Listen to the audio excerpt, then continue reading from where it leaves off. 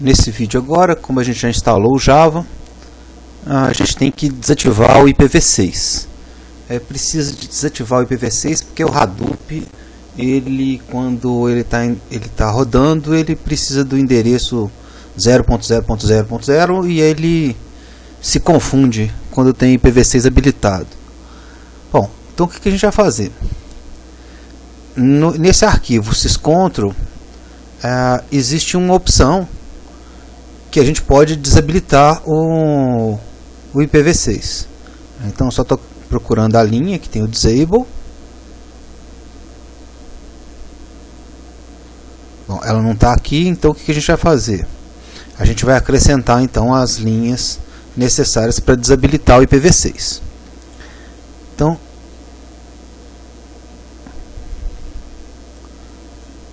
são três linhas básicas. Né?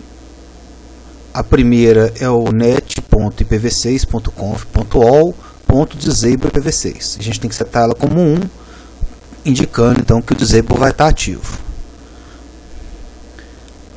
A outra é bem parecida, né, que é net ipv6 conf default disable ipv6 e a gente vai fazer ela igual a 1 também.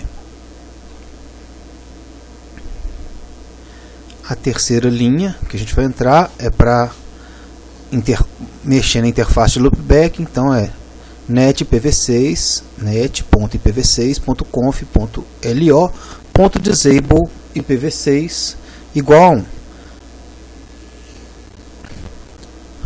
Já fizemos então a modificação, vamos gravar o arquivo.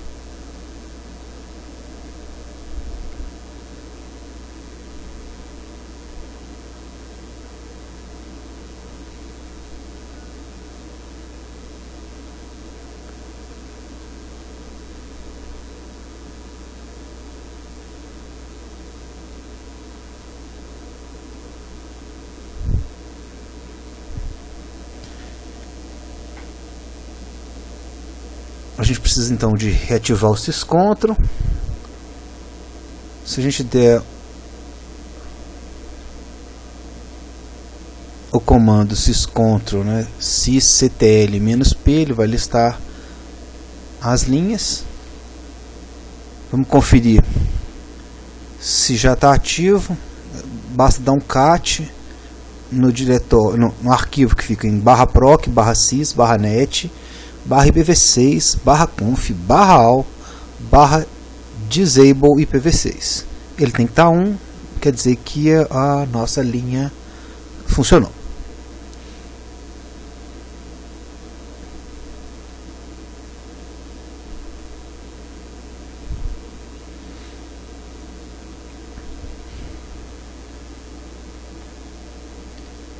Tendo então o IPv6 habilitado, é, desabilitado, a gente agora vai se preocupar em criar uma chave para o SSH que permite que a gente possa fazer as conexões sem ter que digitar a senha. Para isso a gente vai usar o comando ssh-keygen menos t rsa, rsa é o tipo da chave, menos p quer dizer que a gente não com aspas aspas quer dizer que a gente não vai gerar é, uma senha para essa chave. Ele pede só para confirmar o diretório, a gente dá Enter, né, para confirmar então que ele vai ser gerado em ponto .ssh, né, dentro do, do diretório home, com, dentro de ponto .ssh, ele vai criar um arquivo chamado idrssh, né, ele criou dois, o que tem a, a terminação .pub é a, é a chave pública. Então a gente vai copiar essa chave pública para um arquivo que não existe no diretório, né, que chama authorized keys. E com isso a gente é, tem condição, então a gente está informando então o computador que ele aceita conexões via é, por alguém que tiver a chave privada, né, do do ID RSA. Então a gente já tem, agora é só garantir, né, que o nosso arquivo tem a permissão correta, que é 600, que estou é, garantindo então que ele tem só acesso de read write só para o owner, Né? Então ela fica do mesmo jeito que a IDRSA. E bom, então nós já temos o Java instalado, a gente já tem a nossa chave gerada que permite a comunicação. A gente já tem o IPv6 desabilitado, a gente pode baixar então o Hadoop do site do, site do Apache. É, tem vários é, espelhos, a gente vai estar usando o da Unicamp, que é um espelho relativamente rápido aqui no Brasil. Então, dentro de pub Apache Hadoop Core Stable, né, o ideal é ir dentro desse diretório stable, porque ele vai te dizer qual é a última versão estável. A gente pode baixar um arquivo. Ah, como o nosso computador base ele tem acesso à internet, a gente vai usar o wget para buscar. Estou colocando o parâmetro "-c", significa que se cair a conexão, ele tenta refazer automaticamente e voltar a baixar a partir do ponto que ele já, já tinha baixado. É só entrar então com o caminho que é ftpunicamp.br e o diretório é aquele que está ali em cima, né, que é o pub apache hadoop e o arquivo que a gente vai baixar é o hadoop 2.7.1.tar.gz.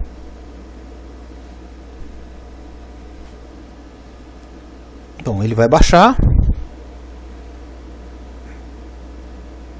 É rapidinho, daqui a pouco ele tá, a gente está com o arquivo todo aqui.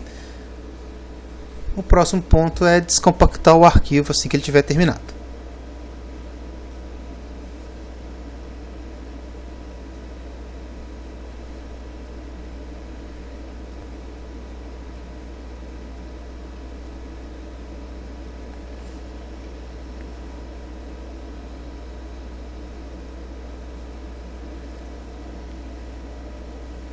Finalmente terminou. Vamos descompactar usando o tar.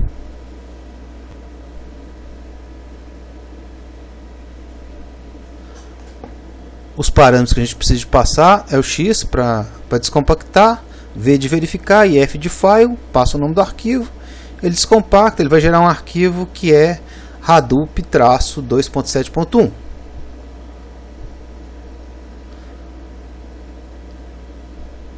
Para ficar mais fácil, a gente vai renomear esse arquivo, esse diretório né, do Hadoop 2.7.1 só para Hadoop, né, aí fica mais simples para a gente acessar. A gente precisa editar o arquivo de configuração do nosso usuário, que é o ponto .bashrc, para acrescentar os caminhos do Hadoop. Então vamos colocar no finalzinho do arquivo as variáveis que a gente precisa de criar.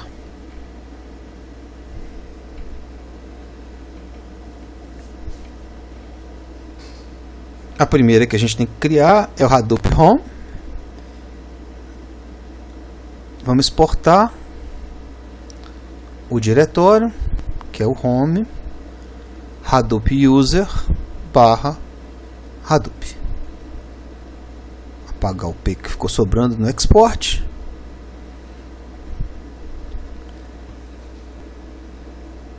A próxima variável de ambiente que a gente precisa é o Java Home.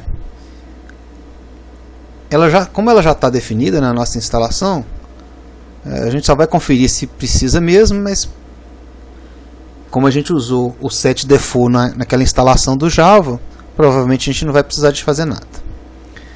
E a gente agora precisa então de acrescentar os diretórios onde estão os programas de execução do Hadoop no path.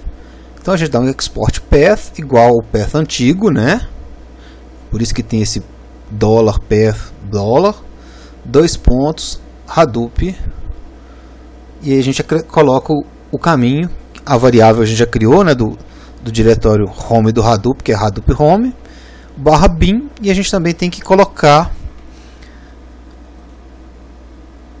o diretório sbin. é, vocês vão ver que já que tem um errinho.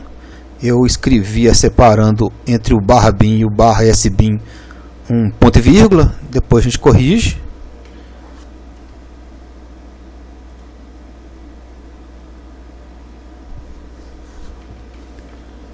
Né, conferindo se o Java Home já está aqui, a gente vê que está. E agora a gente tem um monte de arquivo para a gente configurar do Hadoop. Nesse alguns desses arquivos eles são comuns tanto para os nós quanto para o master, né, para os slaves quanto para o master. E a gente então vai começar fazendo a configuração de um arquivo que é comum aos dois, tanto aos, ao master quanto aos slaves. Vamos entrar então no Hadoop Env.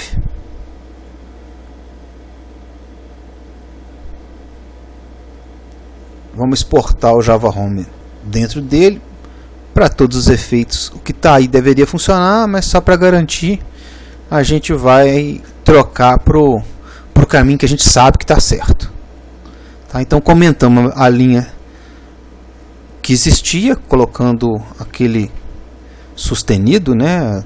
tralha, cerquinha, sei lá, cada um chama de um jeito.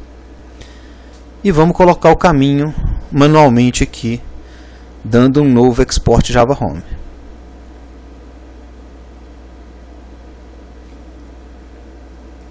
Bom, gravamos um arquivo, a gente não precisa fazer mais modificação. Já que esse vídeo está ficando meio longo, vamos dar uma parada por aqui e a gente continua no próximo vídeo.